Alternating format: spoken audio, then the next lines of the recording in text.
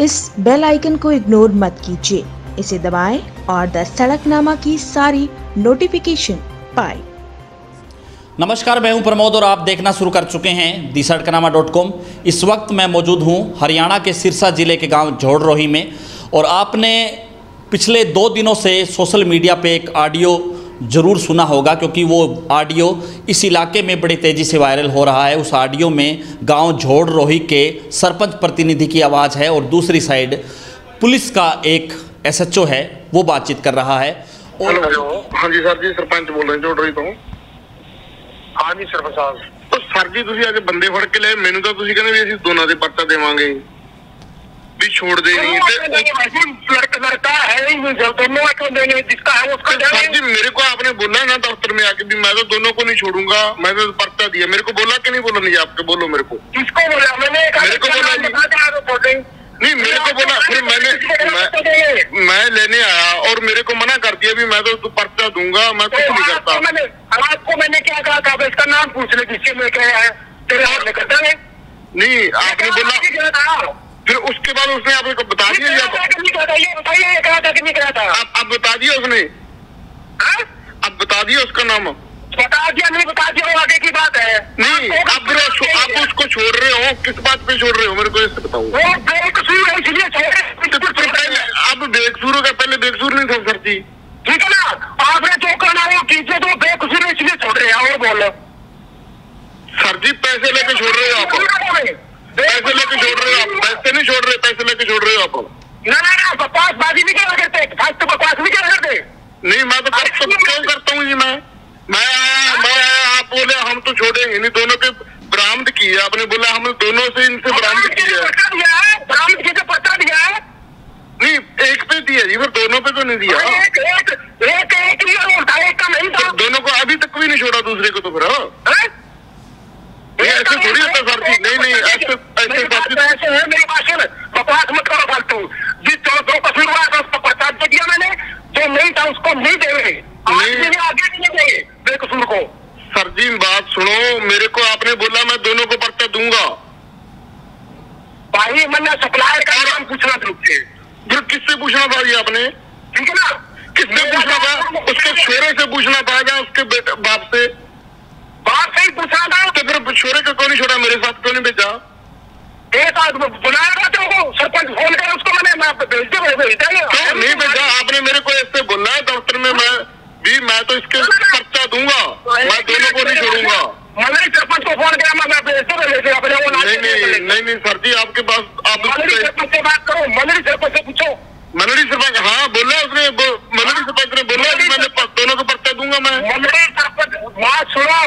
मनरी सरपंच को मैंने फ़ोन करके कहा भाई इसको- उसके बाद आप मनड़ी सरपंच को बोला भी हम बात कर लेते हैं दो रुपये की तो अ, छोड़ देते हैं। मैंने कहा मैं छोड़ दूँगा इसको भेज वो क्यों बोलते तो जब मैं तो जब मैं तो उस टाइम क्यों नहीं भेजा जी? उससे मैंने वेरीफाई करना भाई। तो फिर वेरीफाई तो मेरे सामने कर लेते आप। जवाब भी जो दो छोटे यार कोई बात हो मैंने वेरीफाई करना होता नहीं सर जी सर जी आप फिर बात सुनो लेके आए वेरीफाई कर लिया और आपने उससे पूछना है और अब जब बोले भी हमें दोनों के चलान दूँगा मैं छोड़ूँगा नहीं दोनों को इनसे दोनों से बरामद किया है।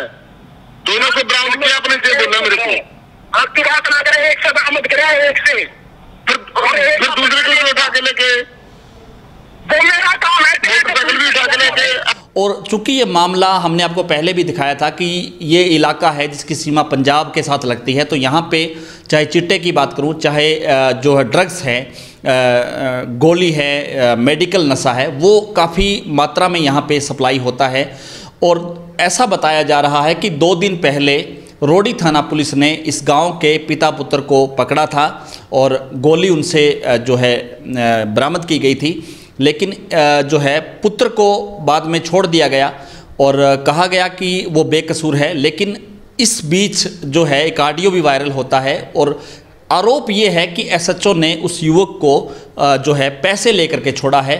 इस पूरे मामले की सच्चाई क्या है? हमारे साथ जो सरपंच प्रतिनिधि है बलकरण सिंह, जिनकी ये ऑडियो है, जो एसएचओ के साथ बातचीत हुई है जो ऑडियो वायरल हो रही है सर ये क्या पूरा मामला था क्योंकि पुलिस जिस तरह से पुलिस का नज़रिया है उस ऑडियो को सुनने से पता चलता है कि अ, झल्ला रहे हैं एसएचओ तो क्या ये पूरा मामला है ਮਾਮਲਾ ਇਹ ਜੀ ਮੇਰੇ ਪਿੰਡ ਦੇ ਵਿੱਚ ਕੋਈ ਗੋਲੀਆਂ ਇਹਨਾਂ ਨੇ ਫੜੀਆਂ ਸੀਗੀਆਂ ਜੀ। ਮੈਨੂੰ ਪਤਾ ਨਹੀਂ ਵੀ ਫੜੀਆਂ ਜਾਂ ਨਹੀਂ ਹੈ ਮੇਰੇ ਕੋਲ ਉਹਨਾਂ ਦੇ ਪਰਿਵਾਰ ਦੇ ਬੰਦੇ ਆਏ ਉਹ ਕਹਿੰਦੇ ਵੀ ਸਾਡੇ ਲੜਕੇ ਤੇ ਸਾਡੇ ਮੁੰਡੇ ਨੂੰ ਲੈ ਗਏ ਪੁਲਿਸ ਵਾਲੇ ਤਾਂ ਸਾਡੇ ਨਾਲ ਚਲੋ। ਮੈਂ ਉਹਨਾਂ ਨੂੰ ਕਿਹਾ ਵੀ ਗੋਲੀਆਂ ਦੇ ਮਾਮਲੇ 'ਚ ਮੈਂ ਨਹੀਂ ਜਾਂਦਾ ਜੀ। ਨਾ ਮੈਂ ਚੋਰੀ ਦੇ ਮਾਮਲੇ 'ਚ ਜਾਵਾਂ ਨਾ ਮੈਂ ਗੋਲੀਆਂ ਦੇ ਵਿੱਚ। ਉਹ ਕਹਿੰਦੇ ਨਹੀਂ ਸਾਡਾ ਮੁੰਡਾ ਬੇਕਸੂਰ ਹੈ ਸਾਡਾ ਮੁੰਡਾ ਆਪਦੇ ਪਿਤਾ ਨੂੰ ਆਰਡਰ ਰਹਿੰਦਾ ਹੈ ਉਹ ਦਿਹਾੜੀ ਦਾ ਕਰਦਾ ਹੈ ਤੂੰ ਚੱਲ। ਜੀ। ਤੇ ਉੱਥੇ ਜਾ ਕੇ ਪਤਾ ਲੱਗੂਗਾ। ਜੀ। ਜੇ ਕਸੂਰਵਾਰ ਹੋਇਆ ਸਾਡਾ ਮੁੰਡਾ ਤਾਂ ਬੇਸ਼ੱਕ ਪਰਚਾ ਦੇ ਦਿਓ ਪਰ ਜੇ ਬੇਕਸੂਰ ਹੋਇਆ ਤਾਂ ਤੁਸੀਂ ਛੁਡਵਾ ਕੇ ਲੈ ਕੇ ਆਉਣਾ ਚਲੋ ਜੀ ਮੈਂ ਉਹਨਾਂ ਨਾਲ ਗਿਆ ਰੋੜੀ ਥਾਣੇ 'ਚ। ਐਸਐਚਓ ਸਾਹਿਬ ਨਾਲ ਮਿਲਿਆ ਮੈਂ। ਮੈਂ ਕਿਹਾ ਜੀ ਸਤਿ ਸ੍ਰੀ ਅਕਾਲ ਕਹਿੰਦਾ ਸਤਿ ਸ੍ਰੀ ਅਕਾਲ। ਮੈਂ ਕਿਹਾ ਜੀ ਐਂ ਕਰਕੇ ਸਾਡੇ ਬੰਦੇ ਆ ਦੋ। ਕਹਿੰਦਾ ਮੈਂ ਬਿਲਕੁਲ ਗੋਲੀ ਬਰਾਮਦ ਕਰੀ ਹੈ ਮੈਂ ਕਿਸੇ ਕਰੀ ਹੈ ਜੀ? ਕਹਿੰਦਾ ਪਿਤਾ ਪੁੱਤਰ ਦੋਨੋਂ ਸੀ ਕਰੀ ਹੈ ਫਿਰ ਤੋਂ ਜੀ ਮੈਂ ਪਰਚਾ ਬੰਦਾ ਚਲੋ ਦੇ ਦਿਓ। ਪਰ ਜੇ ਮੈਂ ਮੁੰਡਾ ਬੇਕਸੂਰ ਹੈ ਤਾਂ ਉਹ ਉਹਦੇ ਪਰਚਾ ਨਾ ਦਿਓ। ਉਹਦੀ ਜ਼ਿੰਦਗੀ ਨਾ ਖਰਾਬ ਕਰੋ। ਜੇ ਤੁਸੀਂ ਲੈ ਕੇ ਆਏ ਹੋ ਤਾਂ। ਕਹਿੰਦਾ ਮੈਂ ਘਰੋਂ ਲੈ ਕੇ ਆਇਆ ਦੋਨਾਂ ਤੋਂ ਬਰਾਮਦ ਕੀਤੀ ਹੈ। ਔਰ ਦੋਨਾਂ ਤੇ ਮੈਂ ਪਰਚਾ ਦੂੰਗਾ ਮੈਂ ਕਿਸੇ ਵੀ ਹਾਲਤ ਵਿੱਚ ਛੋੜਦਾ ਨਹੀਂ। ਦੋਨੇ ਕਸੂਰਵਾਰ ਹੈ। ਮੈਂ ਨਹੀਂ ਛੋੜੂੰਗਾ। ਮੈਂ ਚਲੋ ਜੀ ਮੈਂ ਕਿਹਾ ਜੇ ਬੇਕਸੂਰ ਜੇ ਕਸੂਰਵਾਰ ਹੈ ਤਾਂ ਬਿਲਕੁਲ ਨਾ ਛੋੜੋ। ਮੈਂ ਉਨਸੇ ਵੀ ਪੁੱਛਾ ਉਹ ਕਹਿੰਦੇ ਵੀ ਨਹੀਂ ਹੈ ਵੀ ਅਸੀਂ ਠੀਕ ਹੈ। ਮੈਂ ਚਲੋ ਠੀਕ ਹੈ ਜੀ। ਉਸ ਤੋਂ ਬਾਅਦ ਮੈਂ ਪਿੰਡ ਆ ਗਿਆ। ਪਿੰਡ ਆਉਣ ਤੋਂ ਬਾਅਦ ਮੈਨੂੰ ਪਤਾ ਲੱਗਿਆ ਵੀ ਕਿਸੇ ਤੋਂ ਪੈਸੇ ਇਕੱਠੇ ਕਰੀ ਜਾਂਦੇ ਆ ਵੀ ਐਸਐਚਓ ਨੇ ਪੈਸਿਆਂ ਦੀ ਮੰਗ ਕੀਤੀ ਉਹਨਾਂ ਤੋਂ 1.5 ਲੱਖ ਰੁਪਏ ਦੀ। ਤਾਂ ਕਿਸੇ ਤੋਂ 50000 ਰੁਪਏ ਵੀ ਲੱਗ ਗਿਆ ਕਿਸੇ ਤੋਂ 20 ਫੜਿਆ ਉਹਨਾਂ ਨੇ। ਤਾਂ ਮੈਂ ਉਸ ਤੋਂ ਬਾਅਦ ਮੈਂ ਓਐਸਆਈ ਬ੍ਰਾਂਚ ਵੀ ਫੋਨ ਕੀਤਾ। ਵੀ ਜੇ ਉਹ ਕਸੂਰਵਾਰ ਸੀ ਤਾਂ ਉਹ ਤੇ ਪਰਚਾ ਬਣਦਾ ਲਾਜ਼ਮੀ। ਜੇ। ਕਸੂਰਵਾਰ ਨਹੀਂ ਸੀ ਤਾਂ ਪੈਸੇ ਲੈ ਕੇ ਕਿਉਂ ਛੱਡਿਆ ਜਾਂਦਾ ਉਸ ਬੰਦੇ ਨੂੰ? ਬਿਨਾਂ ਪੈਸੇ ਤੋਂ ਹੀ ਛੱਡਿਆ ਜਾ ਸਕਦਾ ਹੈ। ਜਾਂਚ ਕਰ ਸਕਦੇ ਸੀਗੇ। ਅੱਛਾ ਉਸ ਤੋਂ ਬਾਅਦ ਮੈਂ ਐਸਐਚਓ ਨੂੰ ਫੋਨ ਲਾਇਆ। ਮੇਰੇ ਕੋਲ ਕਿਸੇ ਬੰਦੇ ਦਾ ਫੋਨ ਆਇਆ। ਜਦੋਂ ਮੈਂ ਥਾਣੇ 'ਚੋਂ ਆ ਗਿਆ ਨਾ ਵੀ ਤੂੰ ਪੈਸੇ ਦਾ ਪ੍ਰਬੰਧ ਕਰ ਲਾ ਤੇ ਉਹ ਮੁੰਡੇ ਨੂੰ ਛਡਵਾ ਕੇ ਤੂੰ ਲੈ ਜਾ। ਮੈਂ ਸਾਹ ਮਨਾ ਕਰਦਾ ਜੇ ਬੇਕਸੂਰ ਹੈ ਤਾਂ ਬਿਨਾਂ ਪੈਸੇ ਤੋਂ ਛੱਡ ਦਿਓ ਜੇ ਕਸੂਰਵਾਰ ਹੈ ਤਾਂ ਪਰਚਾ ਦੇ ਦਿਓ। ਮੈਂ ਵਿੱਚ ਦਲਾਲੀ ਵਾਲਾ ਕੰਮ ਨਹੀਂ ਮੈਂ ਨਾ ਕੀਤਾ ਨਾ ਮੈਂ ਕਰਾਂ। ਅੱਛਾ ਉਸ ਤੋਂ ਬਾਅਦ ਉਹਨਾਂ ਨੇ ਕਿਸੇ ਹੋਰ ਦਲਾਲ ਨਾਲ ਗੱਲ ਕਰ ਲਈ ਵਿੱਚ ਮੇਰੇ ਪਿੰਡ ਦੇ ਨਾਲ ਵੀ ਪੈਸੇ ਲੈ ਕੇ ਆ ਜਾ ਤੇ ਮੁੰਡਾ ਮੈਂ ਛੱਡ ਦਿੰਦਾ। ਮੈਨੂੰ ਪਤਾ ਲੱਗ ਗਿਆ ਮੈਂ ਐਸਐਚਓ ਨੂੰ ਫੋਨ ਲਾਇਆ ਐਸਐਚਓ ਬੁਖਲਾ ਗਿਆ ਤੁਹਾਨੂੰ ਪਤਾ ਹੀ ਹੈ ਉਹਨੂੰ ਪਤਾ ਲੱਗ ਗਿਆ ਵੀ ਪੈਸੇ ਦੀ ਮੇਰੀ ਗੱਲ ਲੀਕ ਹੋ ਗਈ। ਤਾਂ ਉਸ ਤੋਂ ਬਾਅਦ ਮੈਂ ਫੋਨ ਵੀ ਲਾਇਆ ਐਸਐਚਓ ਨੇ ਕਿਹਾ ਵੀ ਹੈ ਮੈਨੂੰ ਰਿਕਾਰਡਿੰਗ ਦੇ ਵਿੱਚ ਵੀ ਮੈਂ ਤੈਨੂੰ ਫਲਾਣੇ ਬੰਦੇ ਨੂੰ ਕਿਹਾ ਸੀ ਵੀ ਸਰਪੰਚ ਛੁਡਵਾ ਕੇ ਲੈ ਜਾ ਰਿਕਾਰਡਿੰਗ ਦੇ ਵਿੱਚ ਦੱਸੀ ਵੀ ਜਾਂਦਾ ਉਹ। ਉਸੇ ਬੰਦੇ ਨੇ ਮੈਥੋਂ ਪੈਸੇ ਦੀ ਮੰਗ ਕੀਤੀ ਸੀ ਤਾਂ ਮੈਂ ਮਨਾ ਕਰਤਾ। ਆਹੀ ਗੱਲਬਾਤ ਹੈ ਜੀ ਇਹ ਪੈਸਿਆਂ ਦਾ ਇਹ ਪੈਸੇ ਲੈਂਦਾ ਹੈ ਤਸਕਰਾਂ ਤੋਂ ਦੋ ਦੋ ਤਸਕਰ ਫੜ ਲੈਂਦਾ ਹੈ ਇੱਕ ਤਸਕਰ ਨੂੰ ਪੈਸੇ ਲੈ ਕੇ ਛੱਡ ਦਿੰਦਾ ਹੈ, ਇੱਕ ਨੂੰ ਪਰਚਾ ਪਾਉਂਦਾ ਹੈ ਕਿਸੇ ਨੂੰ ਪਤਾ ਵੀ ਨਾ ਲੱਗੇ ਅਧਿਕਾਰੀਆਂ ਨੂੰ ਆਪਦੇ ਉੱਚ ਅਧਿਕਾਰੀਆਂ ਨੂੰ ਬਕਾਉਂਦਾ ਜੀ ਸ਼ਰੇਆਮ ਬਕਾਉਂਦਾ ਇਹ जी तो क्या कोई पैसे वाली कोई बात नहीं है हमने हजार गोली पकड़ी थी जी ठीक है हाँ सराज नाम है उसका एक्यूज का ठीक है और उसके खिलाफ एफआईआर लॉन्च कर दी गई उसका एक दिन का पुलिस रिमांड भी लिया, आज उसको जुडिशियल में भेज दिया गया। रिकवरी उसी से थी मोटरसाइकिल पे था वो। ठीक है। वेरीफाई करने के लिए शायद पुलिस उसके लड़के को लेके आई थी, लेकिन उसकी इसमें कोई इन्वॉल्वमेंट नहीं थी।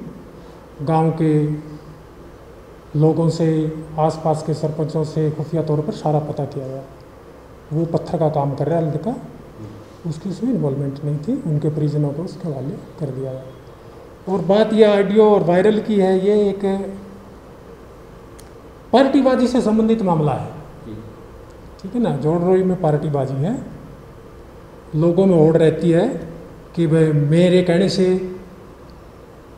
मैं लेके आऊँ या मैं लेके आऊँ वोटों की राजनीति।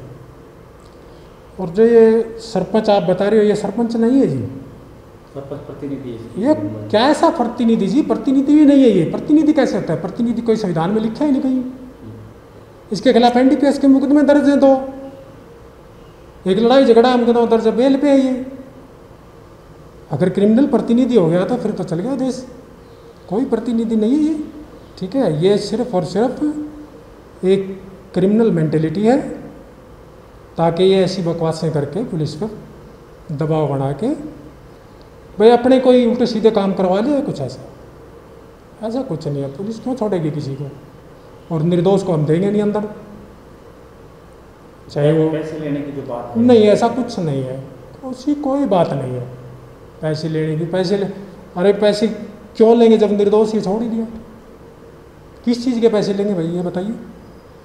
ये सब झूठी बातें हैं बनावटी बातें हैं और जो वायरल कर रखी है जो भी है आपको सुन के भी देख लें, उसमें शायद आपको पता ही चल जाएगा। जो भी लगा है। इस वीडियो को आप शेयर ज़रूर कर दीजिए ताकि तमाम लोगों तक ये जानकारी पहुँचे, ताकि तमाम सरकार में बैठे हुए अधिकारियों तक और मुख्यमंत्री तक, क्योंकि भारतीय जनता पार्टी की सरकार बेशक भ्रष्टाचार मुक्त शासन देने की बात कर रही है, लेकिन जो थानों में बैठे हुए पुलिस कर्मचारी हैं, जो पुलिस अधिकारी हैं, वो गाँव के लोगों के साथ किस तरह का व्यवहार कर रहे हैं, वो आपको इस ऑडियो से या इस बाइट से अंदाज़ा ज़रूर लग गया होगा। बहुत बहुत शुक्रिया।